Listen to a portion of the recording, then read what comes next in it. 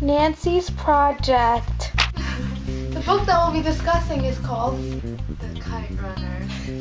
Okay. So the general, uh, it was really nice of him to accept Amir into his family, you know, like his daughter and everything. hmm And uh, why did he accept Amir? Because Amir's dad, Baba, was good friends with the general.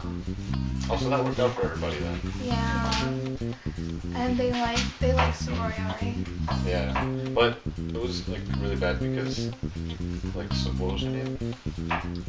Um, Soraya. So have you Sororia Soraya, yeah. and Amir, they couldn't have a kid, so that kind of sucked because Oh yeah, oh, yeah. She yeah. couldn't get Right. It sucked. And didn't Baba die after, like a month after the wedding? Yeah, he did. And that really hurt me. And um, he was a good father to him though. yeah, and he was a he was nice too. He was kind of strict. Yeah, he was strict. but he Especially in the beginning of the book. Wait, why did why didn't they have kids? Why didn't they have kids? Unexplained infertility. Oh, was in the book, I that's the think. word. Yeah, Oh yeah. that's what it was. Yeah. So didn't he get raped?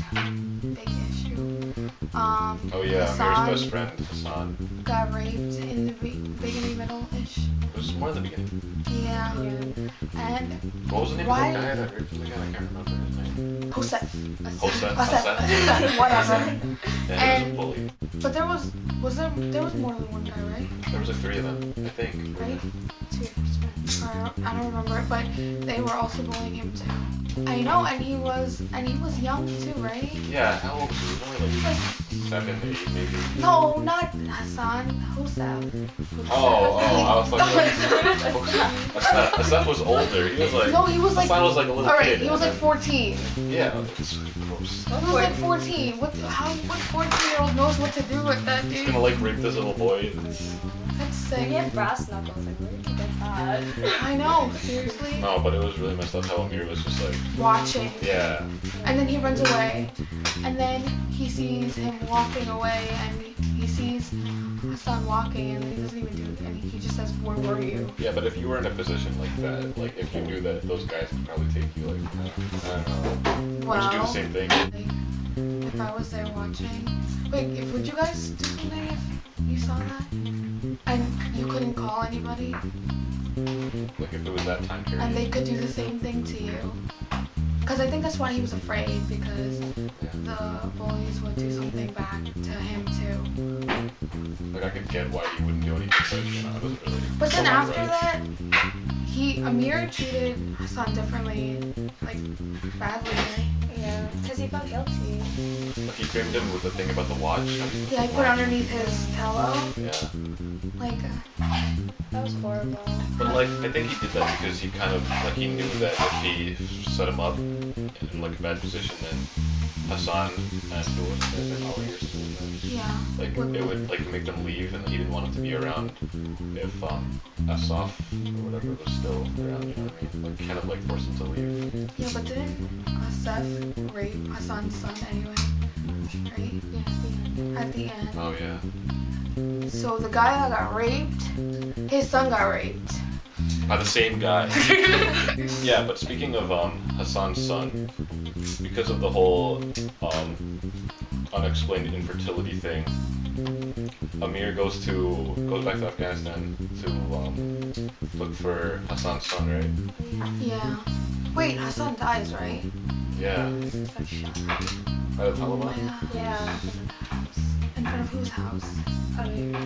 Why does um Baba forgive when after remember we said about the watch and why did he forgive him so quickly?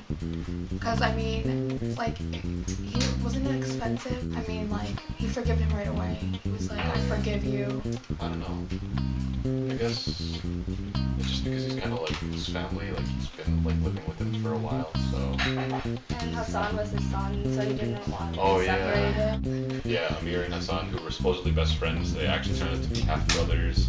and you don't find that out till like later on in the book. So now it's complicated because now they're half brothers and But they don't even know that they're half. Brothers. Baba kept it a secret because they're like family. Um, uh, Lee and Baba. So he doesn't want to hurt his feelings or whatever.